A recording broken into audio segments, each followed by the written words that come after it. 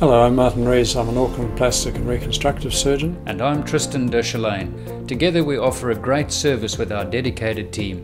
Here at APSC, we offer you, the patient, a full range of comprehensive plastic surgical procedures.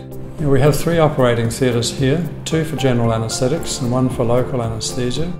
The latest trends in plastic surgery include shorter scars for incisions and, of course, lots of non surgical interventions like Botox and fillers. We do most of our skin cancer cases in the local anaesthetic theatre, but in the GA theatres, we do a lot of facelifts, breast reductions, breast augmentations, liposuction, and VASER assisted ultrasonic liposuction. So we provide a very full range of cosmetic plastic surgical procedures. We deal with skin cancers, we deal with reconstructive problems, we deal with trauma. Whatever your problem, we would be happy to meet you and discuss it.